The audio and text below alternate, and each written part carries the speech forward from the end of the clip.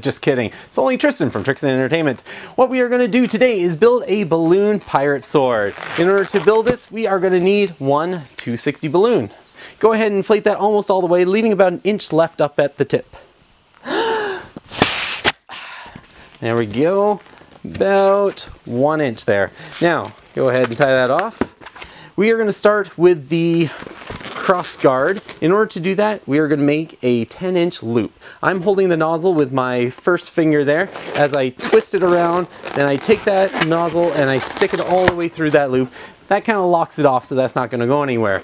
Next, I like to add a little pinch twist here. In order to do a pinch twist, if you haven't seen the other tutorials, twist off a little bubble, take your two fingers, grip it over top just like this, and that's going to be your twisting action. Next, take your thumb, push it into one of the twists there, and our goal is to get this twist to touch this twist. So I'm going to take it, pull it up slightly as I twist, and that's how your pinch twist should look.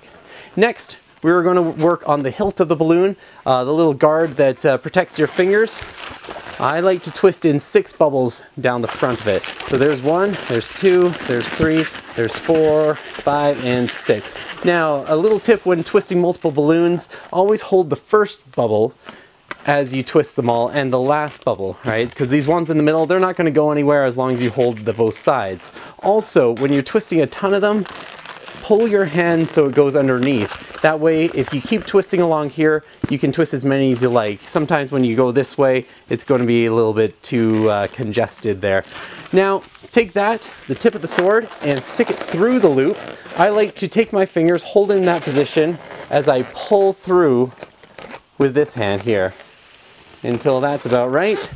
Take it, give it a little bend so it's nice and straight, and you have yourself a balloon sword.